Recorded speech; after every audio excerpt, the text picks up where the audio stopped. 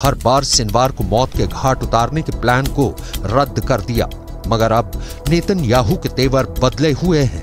Israel आरोप लगा रहा है कि अपनी मौत को न्योता देने वाला हमास खुद है, क्योंकि ताज़ा जंग की शुरुआत हमास की तरफ़ से ही हुई।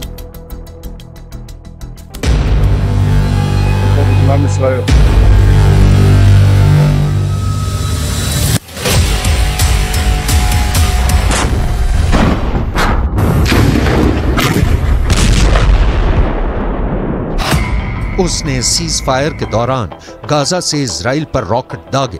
और तो और, जिस यरूशलेम शहर को इसराइल अपनी राजधानी बताता है, वहाँ भी हमास ने अपने दो लड़ाके भेजकर दिन दहाड़े सरेआम कत्लेआम करा दिया।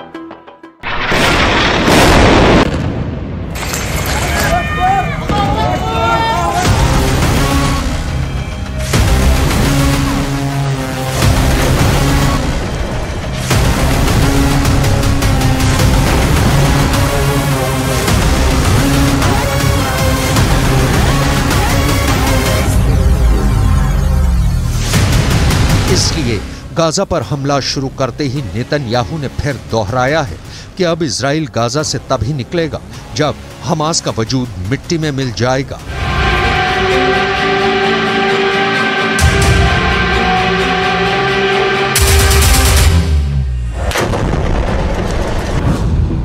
लेकिन इसराइल के हमलों का हमास पर रत्ती भर का असर नहीं पड़ा है। क्योंकि हमास ने भी अपने तेवर दिखा दिए हैं। उसने भी दो टूक कह दिया है कि अब इसराइल जंग जीत कर दिखा दे, जो वो गाजा पर हमले कर कर के पिछले 50 दिनों में हासिल नहीं कर पाया, उसे वो अब भी हासिल नहीं कर पाएगा।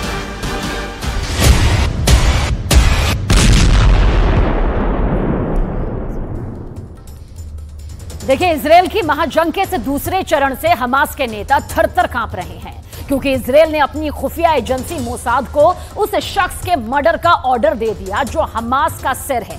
यह ऑर्डर है हमास के चीफ इस्माइल हनिया को मौत के घाट उतारने का।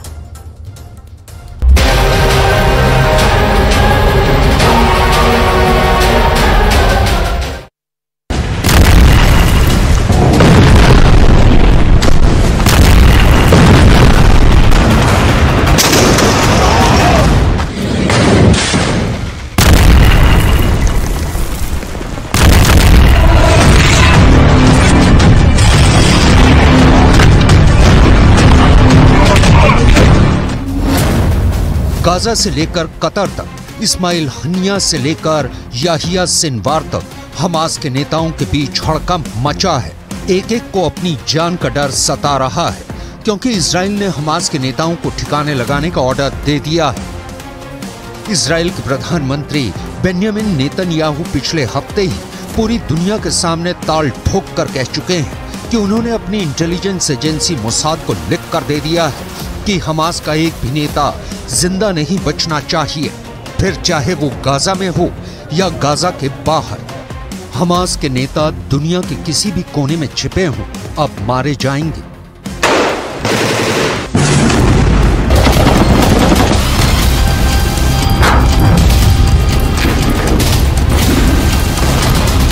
אנחנו עושים כל מאמץ להחזיר את אה, חטופינו ובסופו של דבר נחזיר את כולם. יש לנו שלושה יעדים במלחמה הזאת. לחסל את החמאס, להחזיר את כל חטופינו.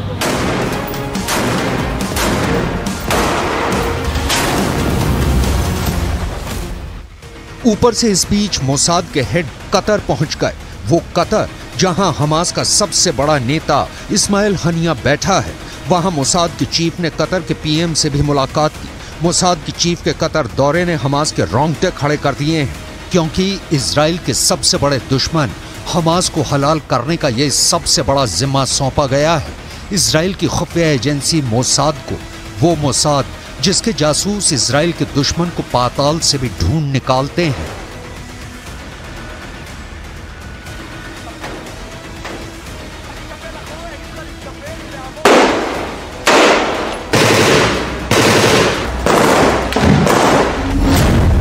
यानी अब इसराइल सीधा हमास के सर उसके दिमाग पर गोली चलाने की तैयारी कर चुका है और इसराइल की पहली गोली चलेगी इस्माइल हानिया पर, क्योंकि हमास का दूसरा नाम ही इस्माइल हनिया है।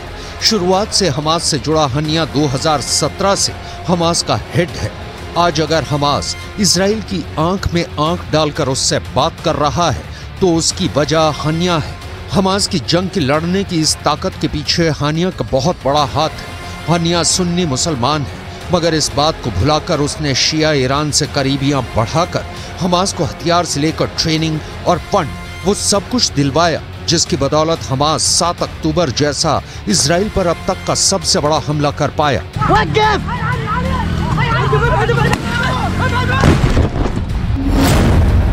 हमास की हर चाल के पीछे हानिया का दिमाग होता है, इसलिए हानिया खत्म तो हमास खत्म। तो क्या हनिया को मार डालेगी मोसाद? इसराइल युद्ध के पहले दिन से ही कह रहा है कि गाजा की ये लड़ाई तब तक नहीं रुकेगी जब तक हमास हलाल नहीं हो जाता और हमास तभी खत्म होगा जब उसे चलाने वाले इस्माइल हनिया जैसे नेता मिट्टी में मिलेंगे। लेकिन इस्माइल हनिया पिछले कुछ साल से इसराइल से मीलों दूर पश्चिम एशिया के देश कतर में बैठा है। कतर इसराइल और हमास के बीच मध्यस्थता करवा रहा है और कतर अमेरिका का पुराना साथी है। खबर यह भी है कि कतर इसराइल को साफ़ कह चुका है कि वो उसके यहाँ बैठे हमास के नेताओं पर हमला बर्दाश्त नहीं करेगा। और खुद नेतन याहू कतर से वादा कर चुके हैं कि इसराइल कतर में कोई ऑपरेशन नहीं करेगा। मगर अपने दुश्मनों के आगे इसराइल को कुछ नज़र नहीं आता। तभी तो उसने हमास के नेताओं को ठिकाने लगाने के लिए मोसाद जैसी अपनी एजेंसी को जिम्मा सौंपा। इसी बात से साफ़ है कि इसराइल के इरादे खूंखार है। मोसाद, इसराइल के दुश्मनों को मौत के घाट उतारने के लिए पूरी दुनिया में बदनाम है। मोसाद इतने खुफिया तरीके से अपने ऑपरेशन चलाती है कि किसी को कानो कान खबर नहीं लगती।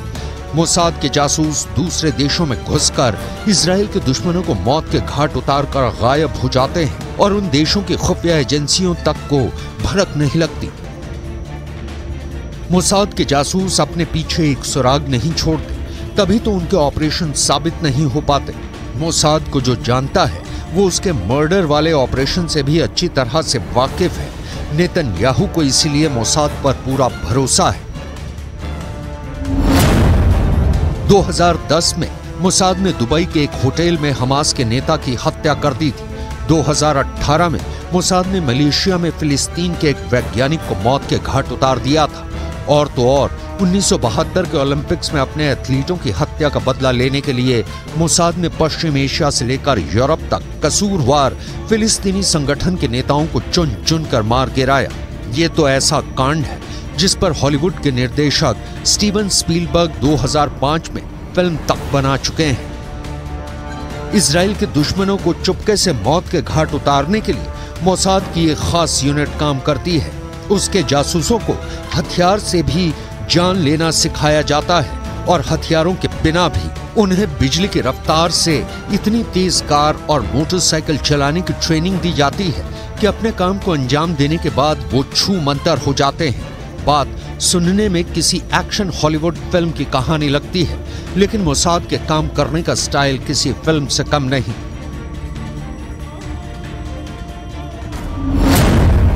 2018 में मोसाद के जासूसों ने मोटरसाइकिल का इस्तेमाल करके ही मलेशिया में फिलिस्तीन के वैज्ञानिक की हत्या की थी। ऐसा भी नहीं है कि अपने ऑपरेशन को अंजाम देने में मोसाद ने ये महारत अब जाकर हासिल की है। मोसाद शुरुआत से ही बड़े बड़े खुफिया हत्याकांड करता रहा है।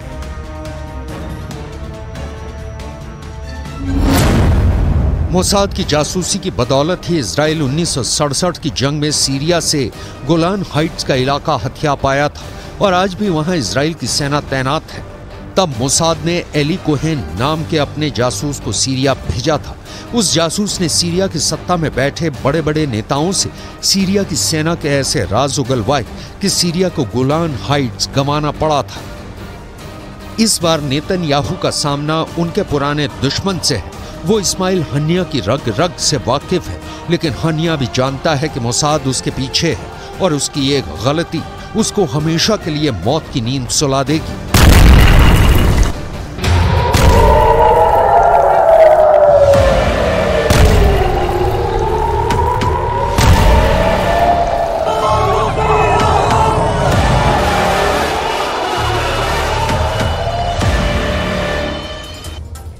इसराइल के प्रधानमंत्री बेन्यामिन नेतन्याहू ने साफ़ कह दिया कि अब हमास पर किसी तरह का रहम या उसके साथ कोई डील नहीं होगी। यही वजह है कि इसराइल ने सात दिन के सीज फायर में जो खुफिया जानकारी हासिल की, उसकी दम पर दक्षिणी गाजा से लेकर वेस्ट बैंक तक इजरायली सेना ने हवाई हमलों से कोहराम ही कोहराम मचा दिया। दावा यह किया जा रहा है कि दक्षिण गाजा के कई इलाकों में लाशों का अंबार लग गया।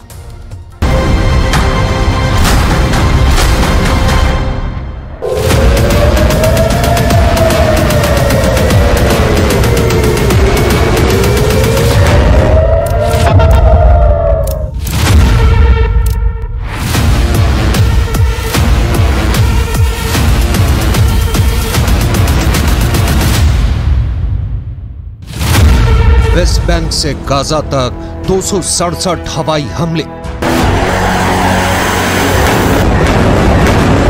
क्या हमास से लड़ते लड़ते इजरायली सेना और नेतन्याहू सरकार हाँपने लगी है? आखिर ऐसी क्या वजह है कि सीज फायर खत्म होते ही इजरायली सेना को बैंक से लेकर उत्तरी गाजा तक दो सौ सड़सठ हवाई हमले करने पड़े हैं। दावा तो यहाँ तक किया गया है कि उत्तरी गाजा, दक्षिणी गाजा और वेस्ट बैंक में इजरायली सेना उन इलाकों पर ताबड़तोड़ हमले कर रही है, जिनकी पहचान सात दिन के सीज फायर के दौरान की गई थी। कुछ दावों के मुताबिक इसराइल ने दूसरे चरण के युद्ध में शुरू के पहले तीन घंटे में चौंतीस से ज़्यादा फिलिस्तीनियों को मार डाला है, जिनमें बच्चे और महिलाएँ भी शामिल हैं। इसराइल के भीषण हमलों के बीच एक सवाल फिर उठ रहा है कि क्या हमास ने सीज फायर की आड़ में इसराइल को बुरी तरह से फंसा दिया है? गाजा युद्ध को 50 से ज़्यादा दिन हो चुके हैं, लेकिन अभी भी हमास ज़िंदा है। अभी भी हमास इसराइल में घुसकर हमला कर रहा है। यरूशलम में हमास के लड़ाकों ने बीच सड़क पर 7 अक्टूबर जैसा मौत का तांडव मचाया और नेतन याहू और उनकी खूंखार फौज को याद दिलाया है। कि हमास को सुरंग वाला लड़ाका समझना इसराइली सेना की सबसे बड़ी भूल है हमास सिर्फ सुरंग से ही नहीं बल्कि सड़क से सीधे इसराइल में घुसकर हमला कर सकता है और हमास ने यही यरूशलेम में कर दिखाया है हमास इसराइल को जंग में थका रहा है और यही उसकी युद्ध नीति है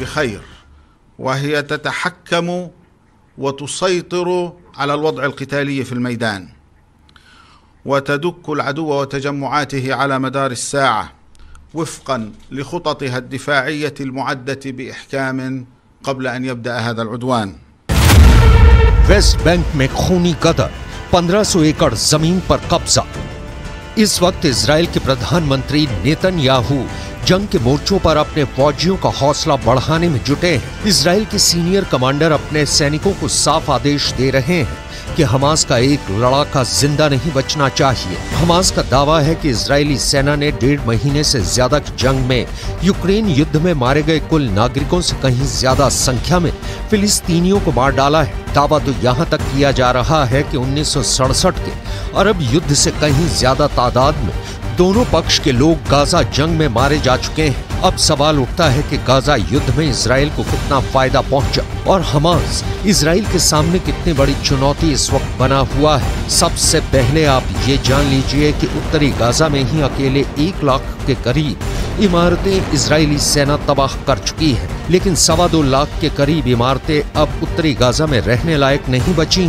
इधर हमास को हिजबुल्ला और ईरान से जिस बड़ी सैन्य सहायता और समर्थन की उम्मीद थी, वैसा समर्थन कई वजह से हमास को नहीं मिल पाया है। इधर इसराइल ने उत्तरी गाजा के साथ साथ वेस्ट बैंक में भीषण हमले करने शुरू कर दिए हैं। दावों के मुताबिक वेस्ट बैंक के बहुत बड़े ज़मीन के टुकड़े पर इसराइली सेना कब्जा कर चुकी है।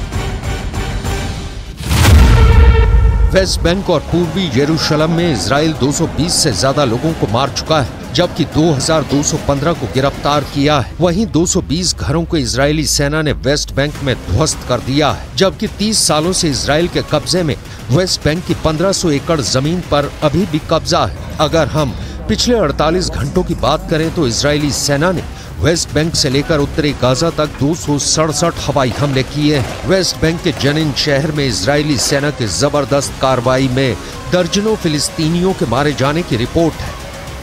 עד עכשיו אנחנו שחררנו 74 חטופים, מהם 50 ילדים ונשים שהיו במתווה המקורי. אנחנו מחויבים להשלים את המתווה הזה, להביא לשחרור כל חטופינו, נשים וילדים, בהמשך כולם, בלי יוצא מן הכלל. वेस्ट बैंक से गाजा तक दो हवाई हमले भले ही हमास इजरायली सेना को उत्तरी गाजा और वेस्ट बैंक और दक्षिणी गाजा में टक्कर देने की कोशिश कर रहा हो, लेकिन हमास के 70 से ज़्यादा कमांडर मारे जाने से हमास का पूरा वॉर प्लान बर्बाद होकर रह गया। हमास को जरा भी उम्मीद नहीं थी। 50 दिन से ज़्यादा की भीषण जंग में अब इसराइली सेना की 401वीं ब्रिगेड ने दक्षिणी गाजा में हमास पर पूरी ताकत से दोबारा हमला किया है। इसराइली सेना का दावा है कि उसने हमास की ग्रैड वैली को पूरी तरह से तबाह और बर्बाद कर दिया है दावा किया जा रहा है कि हमास की ग्रैड वैली में मौजूद हमास के कमांडर लड़ाके रॉकेट डिपो और हथियारों से भरा अस्पताल इजरायली सेना ने तबाह और बर्बाद कर दिया है इसराइल के इस हमले में हमास के डेढ़ सौ से ज्यादा लड़ाके और सीनियर कमांडर मारे गए हैं יש בחוץ דיבורי הבל. כאילו אחרי ההפגה להשבת, ההפוגה להשבת חטופינו, אנחנו נפסיק את המלחמה. אז אני מבקש להבהיר, אנחנו במלחמה, ונמשיך במלחמה. सड़सठ फीसदी हारा हमास फिलिस्तीनियों ने लगाई मोहर वैसे तो कतर, मिस्र और अमेरिका की मध्यस्थता से सीज फायर बंधकों के लिए संजीवनी साबित हुआ है। लेकिन हमास और उसका समर्थन करने वाले ईरान और हिजबुल्ला के मुँह पर गाजा में हुए एक सर्वे ने जोरदार तमाचा मारा है। जरा देखिए इसराइल पर हमले से ठीक पहले गाजा में हमास के खिलाफ फिलिस्तीनियों में कितना ज़बरदस्त गुस्सा था। फिलिस्तीनियों ने इस सर्वे में हमास के कमांडर्स और टॉप लीडरशिप के धज्जियाँ उड़ाई थी। एक अमेरिकी फिलिस्तीनी शोधकर्ता द्वारा बनाई गई एक रिपोर्ट में दावा किया गया है। सात अक्टूबर को इसराइल पर हमास के हमले से पहले गाजा के निवासी हमास को अपना दुश्मन मानते थे। Princeton school of public and international affairs के डीन अमनी जमाल का दावा हमने अपने सर्वेक्षण में पाया है कि गाजा में सड़सठ प्रतिशत फिलिस्तीनियों को हमलों से ठीक पहले हमास पर बहुत कम या कोई भरोसा नहीं था। इस सर्वे के आधार पर तैयार रिपोर्ट में दावा किया गया है कि पूरा गाजा हमास का समर्थन करता है। ये कहना गलत होगा। हमास के खूनी हमलों के लिए गाजा के लोगों को जवाबदेह नहीं ठहराया जा सकता है। दावा किया गया है कि कुछ अरब देशों के कहने पर अरब बैरोमीटर के ज़रिए इस सर्वे को किया गया है। हमास और गाजा के निवासियों पर किए गए इस सर्वे को सितंबर 2023 के अंत से 6 अक्टूबर 2023 तक गाजा में किया गया था, जहाँ 399 लोगों से राय ली गई थी, जबकि वेस्ट बैंक में 790 लोगों पर सर्वे किया गया था और इस सर्वे को जर्नल फॉरेन अफेयर्स में प्रकाशित किया गया था।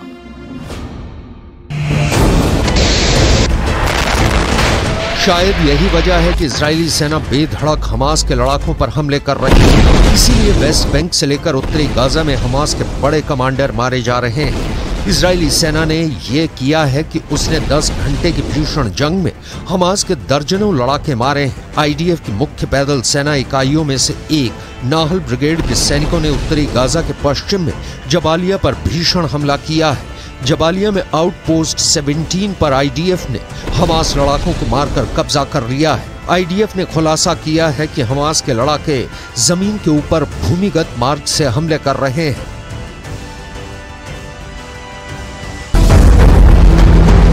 आईएसए और आईडीएफ की खुफिया जानकारी के आधार पर एक आईडीएफ फाइटर जेट ने सेंट्रल कैंप ब्रिगेड में हमास के एंटी टैंक मिसाइल यूनिट के प्रमुख इब्राहिम अबू मगसीब को मार डाला है। आईडीएफ के मुताबिक अबू मगसीब के मारे जाने से पहले इसराइली नागरिकों और आईडीएफ सैनिकों पर कई एंटी टैंक मिसाइल से हमला करने जा रहा था। इससे पहले हमास के एंटी टैंक मिसाइल के कमांडर मोहम्मद असर को आईडीएफ ने मार डाला था।